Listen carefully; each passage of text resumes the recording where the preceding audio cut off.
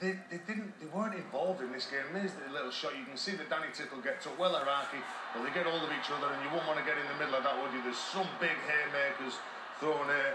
And Danny Tickle and Weller Hauraki, well they both get the red card and Justin Carney and Mark O'Meley, they both get the yellow card. And you like to see a bit of passion, but this just boiled over a bit too much, Bob. Absolutely, and I don't